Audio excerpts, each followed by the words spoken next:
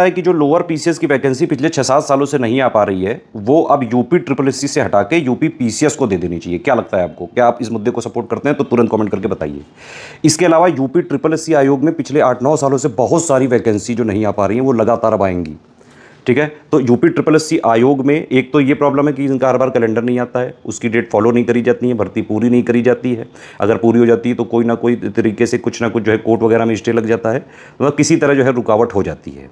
तो एक तो ये प्रॉब्लम है प्लस कई सारी वैकेंसियाँ जो है आ ही नहीं रही हैं। पीटी वगैरह एग्ज़ाम के स्कोर पर भी ज़्यादा एक दो वैकेंसी ज़्यादा निकल नहीं पाती हैं। तो क्या आपको लगता है पीटी एग्ज़ाम क्या ख़त्म कर देना चाहिए? जैसे पहले सिस्टम था कि अलग अलग एग्ज़ाम के लिए अलग अलग मतलब अलग अलग पोस्ट के लिए अलग अलग एग्ज़ाम होता तो वैसे ही रहना चाहिए। क्या लगता है? कॉमेंट करके तुरंत बताइए।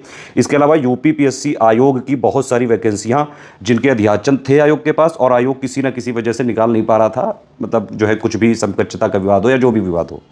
बीईओ की वैकेंसी की डेट भले जो है कैलेंडर में नहीं है, लेकिन वो वैकेंसी ज़रूर आने की संभावना है इस साल के एंड तक।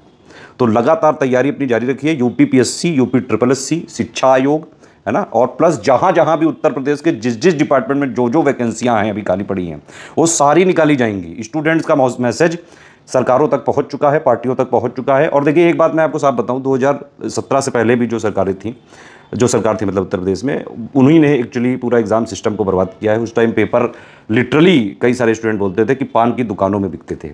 फिर जो नई सरकार आई, इन्होंने बोला कि भाई पूरे भ्रष्टाचार को मिटा के एक अच्छी तरीके से काम करेंगे। सीबीआई वगैरह गठित करी गई, लेकिन उस सीबीआई का आज तक रिज़ल्ट नहीं आया है। क्या आपको लगता नहीं है कि अपनी सरकार से जो है आपको पूछना चाहिए कि भाई सीबीआई का जो भी चीज़ें आपने गठित करी थी, उसका क्या रिज़ल्ट है? वो जो भ्रष्ट अधिकारी सिस्टम में घुस गए थे, वो कब निकाले जाएँगे? एक तो ये चीज़ है। और जो अभी की सरकार है उसमें एटलीस्ट ये तो है कि भाई हाँ कई सारी अध्याचन आ गए हैं, उनकी भर्तियाँ नहीं निकल पा रही हैं, लेकिन जो भी भर्तियाँ हुई हैं, उसमें ऐसे कोई आरोप नहीं है। अगर आप देखें, ये आर ओ आर वाला पेपर इसको छोड़ दिया जाए तो आर ओ आर वाला पेपर और यूपी पुलिस कांस्टेबल का पेपर पेपर जो है, ये दोनों इलेक्शन से पहले लीक कराए गए थे बाकायदा ट्विटर पे अनाउंस करके। तो ये सरकार की पूरी नाकामी तो है यहाँ पे। लेकिन अगर देखा जाए रिलेटिवली तो पिछली सरकार से बेटर है ये। और कुल मिला के बात यह है कि भाई कोई भी सरकार रहे, किसी भी पार्टी की रहे स्टूडेंट्स के मुद्दे सॉल्व होने चाहिए। अभी तक एक्चुअली सारी पार्टियाँ मिल के कि भाई इन पार्टी की चीज़ों को हम दुरुस्त कर देंगे, पवित्र कर देंगे तो हमें वोट दे दो तो स्टूडेंट वोट देता था, वोट दे देता था, ठीक है? तो फिर ये दूसरी पार्टी आती थी। फिर ये दूसरी पार्टी भी पहली वाली पार्टी से मिला ही के काम कर रही है अभी तक।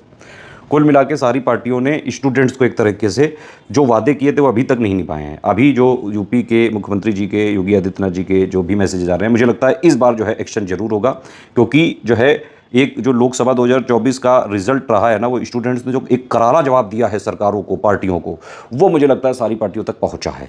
अब जो भी पार्टियाँ स्टूडेंट से अगर किए गए वादे पूरे नहीं करेंगी तो स्टूडेंट्स भी भाई अपने हक जानता है। आज का स्टूडेंट्स जो है जागरूक है।